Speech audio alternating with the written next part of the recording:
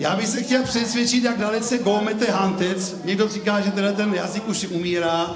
A proto jsem oslovil už předtím, jsem se vetřel, sympatickou mladou dvojici, abych ji pozval za námi.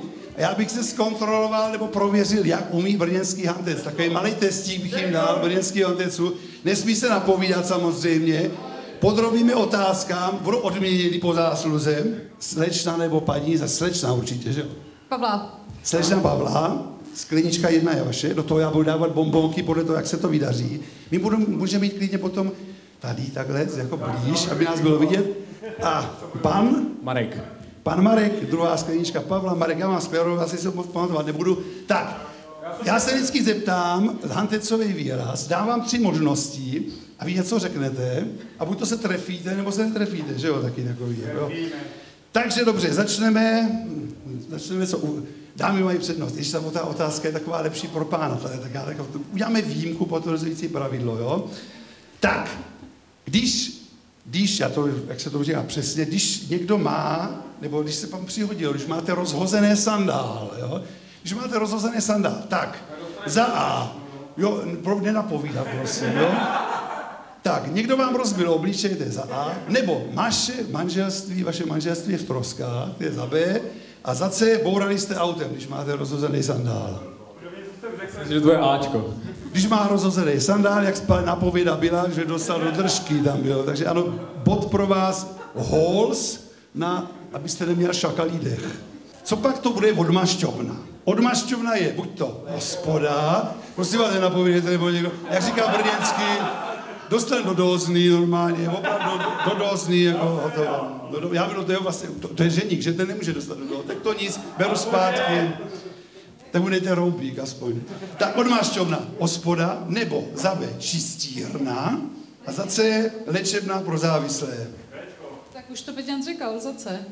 Za C léčebná pro závislé, takže hols. Tak a dáme poslední otázku nějakou pěknou, aby jsme si to takovou, při, takovou, při, takovou příznačnou, já to tady najdu v tom svém pořádku.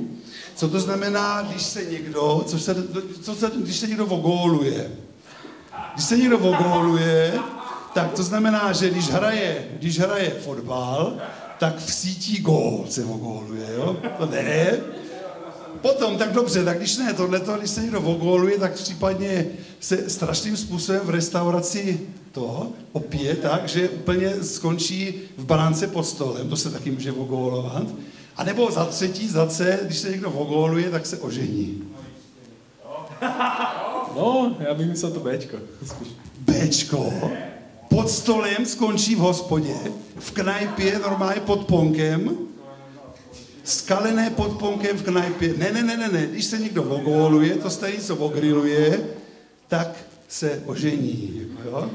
Tak. A co to znamená, když máte uh, kódr na kolku? Kódr na kolku, co to může být? Kódr na kolku. Tak to může být uh, uvázaná pramice na kolíku, třeba na přehradě, že jo, kódr na kolku. Nebo když máte kódr na kolku, to znamená, že to máte úplně na háku, jako, to, to máte v paži, kódr na kolku. A nebo máte snubní prsten na prstě. Tak asi zase, když jsme tady na Ano, to bylo takový intuitivní. Jako. Takže bombonek je váš. Tak, hols, spočítáme bodíky. Dva. Dva. Taky dva. Takže to skončilo. Plichtou, nerozhodně, dva, dva. Takže to chce potles, prosím vás, odvahu, jak oni byli vstříc